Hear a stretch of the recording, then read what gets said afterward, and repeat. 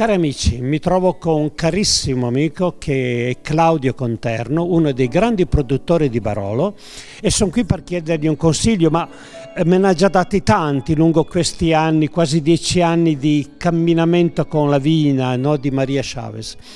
E, ecco, qual è il tuo consiglio adesso che ci troviamo così eh, con una vigna che vedo qui splendida e la nostra che sta soffrendo? Cosa, cosa pensi? Cosa mi Beh, eh, penso che sicuramente abbiamo bisogno di acqua perché laggiù dopo dieci anni di promesse dobbiamo in qualche maniera risolvere quel problema.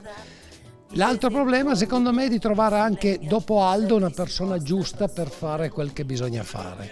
Adesso bisogna avere l'acqua e avere la persona giusta, una ragazza giovane, un ragazzo giovane, qualcuno che abbia voglia di intraprendere quel cammino e cominciare eh, cercando di avere l'acqua, ripeto, perché l'acqua purtroppo è un nutriente eh, fondamentale per la pianta e sarebbe importante averla per qualche anno, invece non l'abbiamo mai avuto. Dopo magari la pianta raggiunge profondità ancora differenti e soffrirà meno, ma per qualche anno bisogna averla, abbiamo sempre detto questo. Ma cosa consigli tu a Padre Ottavio di dialogo, come dialogare col governo per avere l'acqua? Abbiamo già tentato tutte le strade. Sicuramente una vigna, un impegno, una vigna dura 70-80 anni, cioè una cosa che dura una vita, quindi bisogna mettere in pista tutte le eh, cose che servono per portare a compimento questo progetto.